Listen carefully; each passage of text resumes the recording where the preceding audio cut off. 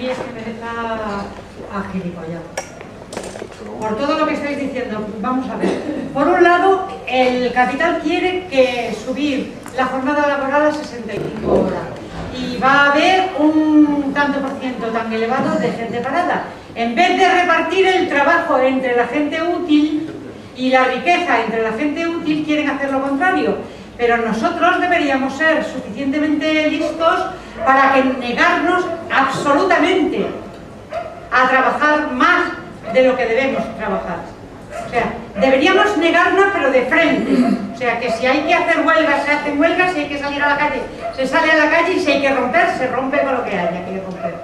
De es que me, me da miedo que la sociedad que le voy a dejar a mis nietos es tan negativa como la que yo me encontré en el año 39 cuando nací. nací he vivido todo el franquismo He, servido, o sea, he sido una esclava, de, he, trabajado en el servicio doméstico, he trabajado en una cadena de producción, he, hecho, he sido una esclava del trabajo y resulta que, que llevo luchando toda la vida por algo mejor y le voy a dejar a mis nietos un mundo todavía más negativo que el que tenía cuando vine al mundo. Y fijaros lo, lo negativo que era. Y otra cosa que me gustaría apuntar es que en Madrid. Cuando yo vine de Alemania, en el año 77,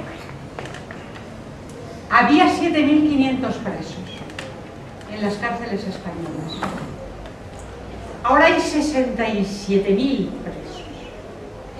67.000 presos que todos son pobres y no han cometido delitos.